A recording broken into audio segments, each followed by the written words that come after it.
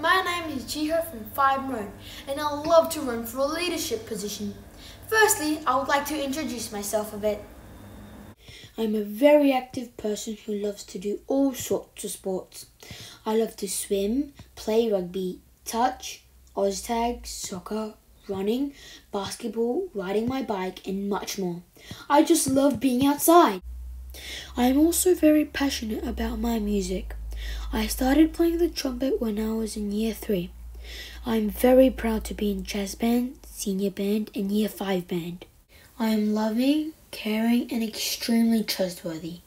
I always love to help out as much as I can with a positive mindset. I am also very patient that I can handle young kids very well.